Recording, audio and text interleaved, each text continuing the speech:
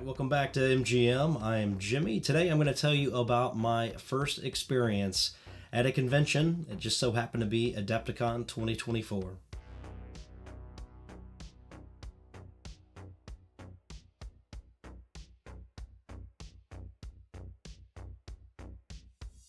Now, overall, this was an amazing experience. The terrain, the miniatures, everything was top notch. I can't believe the amount of people that were there. I really just couldn't believe the amount of people that would be needed in order to set up the event, to support the event. It was really something that was awe inspiring. I really didn't find too many armies that I would not want to take home myself. Everything was beautifully painted, the vendors were there in full support, everything was incredible. Now, my journey started on Wednesday where I flew into Chicago. There was a content creators meet and greet that was taking place from 4 to 8. And it was really cool getting to see a lot of the fellow content creators out there, bearing in mind that not many of them knew who I was, and that's perfectly fine. But some of the folks I got to meet and hang out with Brent from Goobertown Hobbies, Eric from Eric's Hobby Workshop, Jeremy from Black Magic Craft, Lila the Mini Witch, I saw Ash from GMG, and several others. One of the people that made one of the biggest impressions on me uh, throughout the conference was Phil the Glacial Geek. He is just a ball of energy. He's authentic and genuine, and I really enjoyed having the opportunity to meet with him. After hanging out there for a few hours, we went to the Warhammer preview and I've got a bit of a spicy take on this. So just bear in mind, this is my opinion. I'm very respectful of yours, and I hope that you'll be respectful of mine. It is a bit of a spicy take. So a lot of people out there said, hey, you know, the Adepticon reveals were bad, they were poorly done, you know, whatever. I, there's so much out there just trying to get clicks. And there's so much negativity out there from a lot of people towards Games Workshop. And some of that may be warranted. You may feel that way, and that's perfectly fine. But I, I, I don't know how else to say this. But for people that are not in the Games Workshop ecosystem, or they just don't buy Games Workshop miniatures, don't paint them, whatever, Games Workshop does not care about you. And everybody has an opinion and they, you know, about the pricing and everything else. But for every one that I see complaining about Games Workshop, I saw the opposite in that room. And when the reveals were happening, there were cheering, they were screaming across the entire room. So for every person out there that wants to bring Games Workshop down a peg, there are people out there championing the cause just as much on the other side. And when that was over, it was fascinating because their store opened up right after. And just to see the line of people stroll to their store and pay full price for their products. So it's unfortunate to say, but if you're a person that sees, hey, look, Games Workshop is too expensive and I can't afford it, or if you're just not in their ecosystem in general, they genuinely do not care and they're not going to make any type of effort to bridge that gap. So I'm one of those people where I say, hey, look, play the war games the way that you would like to play them. If you want to proxy models, a lot of people like to play 40k in particular because of the lore.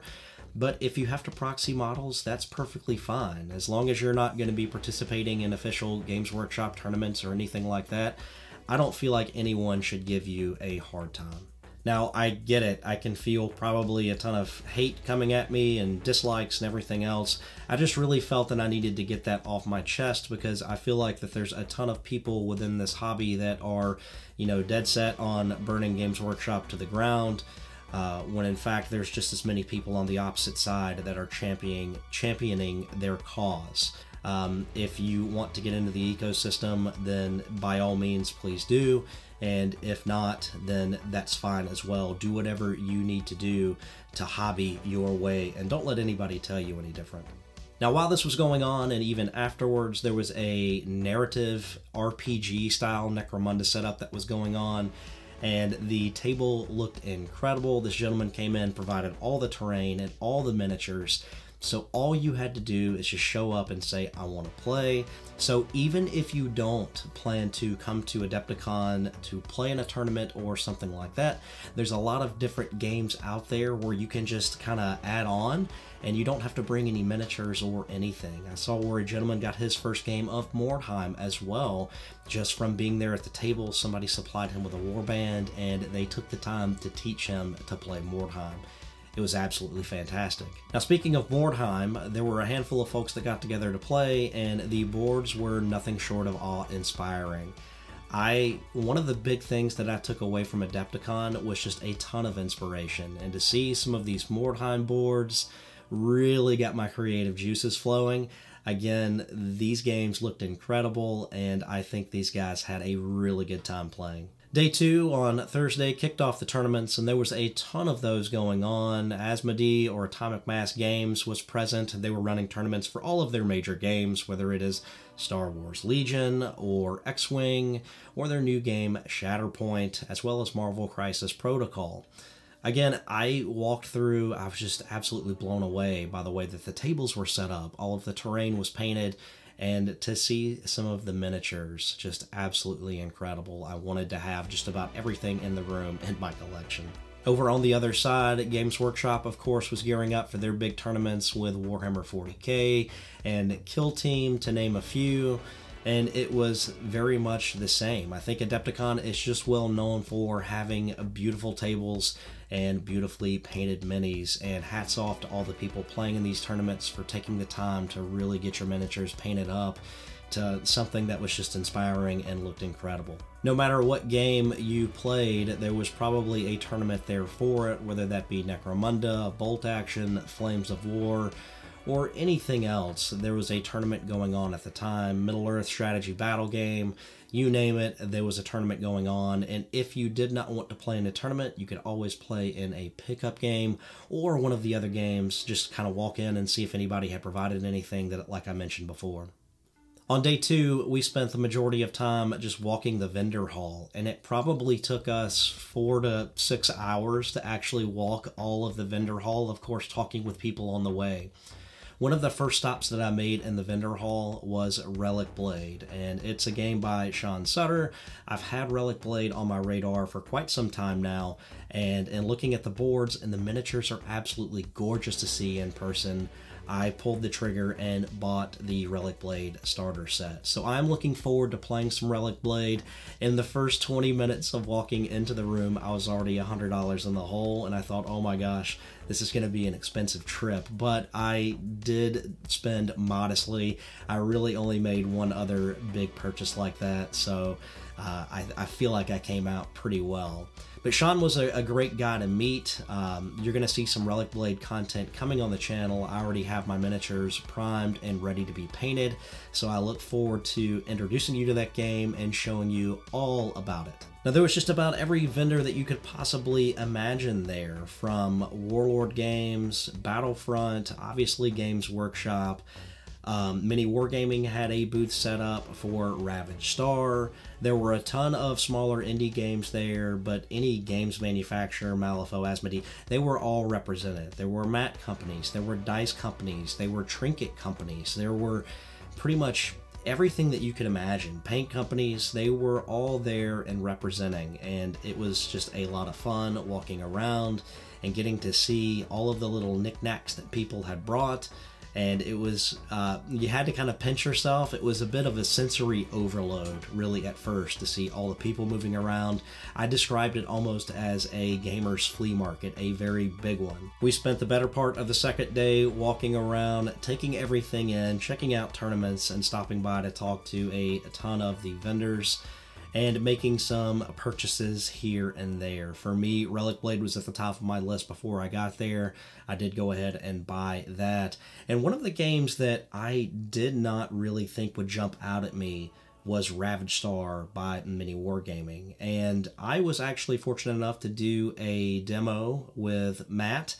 Uh, from Mini Wargaming, and one really stand up guy. I really enjoyed his patience with us and showing us the game it was he's he's a really an upstanding guy and the game mechanics were really balanced and good as well. It felt like a blend of star wars legion and bolt action. There's some middle earth mechanics that i noticed in there really rolled up into one war game. And it made a lot of sense when you're thinking about buying into a war game.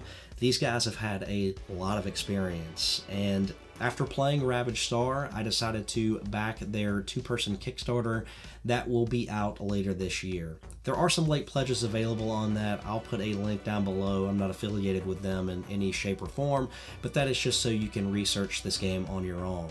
One of the things that stood out to me the most was the miniatures, and at looking at them on the computer, you know, with the plastic PVC that they manufacture the product with, it's it's kind of hard to tell. And and getting them in my hands and looking at them and they were for sale there these miniatures looked incredible. I mean they were gorgeous. They were beautiful. They were painted up on the table and i could really envision doing that myself it looked like just an incredible game. So I have decided to back Ravaged Star, and I'm really happy that I've made that choice. Now, we did a lot of game demos while we were there Malifaux, Halo Flashpoint. Uh, Freeblades uh, if if there was a demo there we pretty much did it uh, so i got to take a lot in i got to find out a little more of what i like in war games versus what i don't like and overall, we had just a great time in that second day. And there was so much going on that it actually spilled over to the third day. We spent a lot of time kind of working our way through the vendors. And when I say we, I had a, a friend there with me that I'd, I'd met. Um, his name was David and he was kind of my partner in crime and, and we spent uh, the majority of the week kind of hanging out together and, and visiting folks together so uh, without him by my side i really couldn't imagine kind of doing it by myself but again depending on how you are I, it would be easy to make things work. Now, I mentioned paint companies, and Army Painter was there, Pro Acryl was there, there were numerous other paint companies there as well. I did get to try out the Fanatics paints from the Army Painter, and I was very impressed with those paints. Um, I did not buy any of them on the spot. I will probably wait for singles because I do have a lot of paint already on hand. But I was impressed overall with the Army Painter Fanatic paints. They, they went down very well. They were extremely consistent when they came out onto your palette. I know that there's a lot of reviews going on about those right now, but my experience with them was overwhelmingly positive, and I think that the Army Painter is doing a great job and in putting their best foot forward with this new paint line. During the course of last week, I was a bit under the weather. You can probably hear it a little bit in my voice now. I am still on the mend, and uh, I just will, wanted to say that it was one of the better experiences that I've had from a wargaming perspective. I thought the entire thing was just so well put together, and I went in on Wednesday. I ended up leaving earlier on Saturday, so I did not spend the weekend there. I didn't stay for the Golden Demon and all that stuff. That was really cool to check out all the entries and just see what people can do with paints that I just can't seem to do it was quite an experience. I want to go back next year. I totally want to go back next year, and I want to bring my son with me so we have the full MGM team on hand. I think he would be absolutely blown away by some of the sights and just, you know, uh, meeting a lot of the people. I think it is absolutely incredible. Now, for my hobby haul, I obviously got Relic Blade. I did back Ravaged Star from Mini Wargaming on GameFound. And then the rest of what I got was mainly singles to start and fill out warbands that I'm continuing to paint up for Mordheim. Over the course of the next few months, you'll see Cult of the Possessed, the Sisters of Sigmar, as well as the Undead hopefully make an appearance and I'm really looking forward to continuing to develop that game out in 2024. Overall, I would recommend going to Adepticon if you have the means. It is something pretty special, and if you don't leave with anything, you will leave with a ton of inspiration, which can go a long way in our hobby. I'm MGM. Thanks so much for watching, and we will see you in the next one. Take care.